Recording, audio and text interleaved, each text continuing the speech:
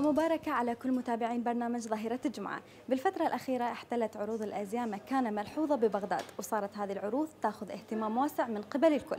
راح تشوفون اليوم ويانا ومن خلال مهرجان حي على العراق مجموعة من التصاميم الخاصة بمصمم الأزياء العراقي سلام الخياط.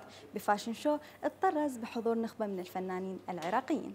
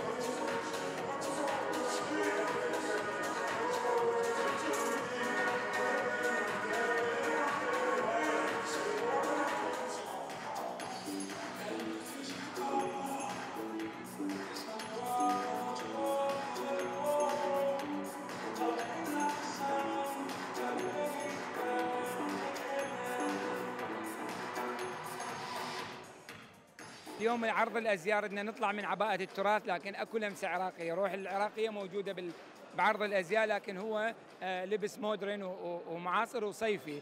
وكثير من الفنانين حضروا آه، نجوم مسرحية آه، ولد النائب مسرحية المسرح الوطني أقبل على بداية جديدة اشتغل مسرح عائلي نظيف. فشيء فرحني إنه أريد أقول شكرا لكل من قدم إبداع قدم حياة في وقت الموت. يعني فكرة التصاميم اليوم هي مستوحاة من التصاميم التاريخية مع لمسة عصرية؟ آه بيها روح عراقية لكن هي آه آه عراقية آه مودرن معاصرة يعني بها لمسة تراث فقط يعني. بغض النظر عن ما عرض بالمهرجان هو المهرجان بحد ذاته واقامته في هذا الظروف بالذات اللي تعيشه بغداد ويعيش العراق بشكل عام.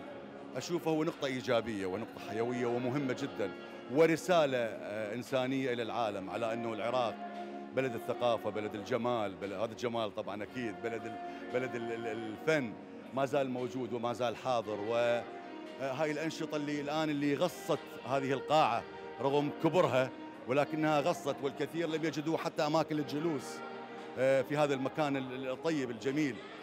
هي هاي هاي اللي بدنا نوصله. يعني إحنا ممكن من خلال أي فعالية أخرى ممكن فعالية راقصة فعالية موسيقى فعالية عرض أزياء فعالية مسرحية. نريد أن نقول للعالم أننا موجودون. واليوم أعتقد الأخ سلام الخياط نجح نجاح كبير أنه يوصل هذه الرسالة. مشكورا طبعا لأنه الآن آه، إحنا دائما نحكي ونقول فعلا يعني المؤسسات الرسمية تعاني من آه، يعني من يعني هو طبعا سوء إدارات. عدم وعي الإدارات بأهمية كثير من الأنشطة اللي تبعث للعالم رسائل مهمة. العراق يعاني، العراق كثير من القنوات الفضائية آه، تسلط عليه الظلام ليس الضوء، تجعل منه آه، بلدا مظلما. ولكن بهكذا أنشطة وهكذا فعاليات وقنوات أصيلة وشريفة. ممكن ان ان, أن نخرج صورة أخرى، صورة بغداد المنيرة، بغداد المضيئة ليلا. بغداد أنا شخصيا دائما بعد 12 بالليل اركب سيارتي وأطلع أفطر بغداد والله. زين؟ اللي على العكس من يعني اللي يصور العالم إنه بغداد ليس آه، فيها أي حياة. لا بغداد هذه الحياة. هذه هذا التصفيق هذا الجمال. فرساله أعتقد وصلت إلى حد ما.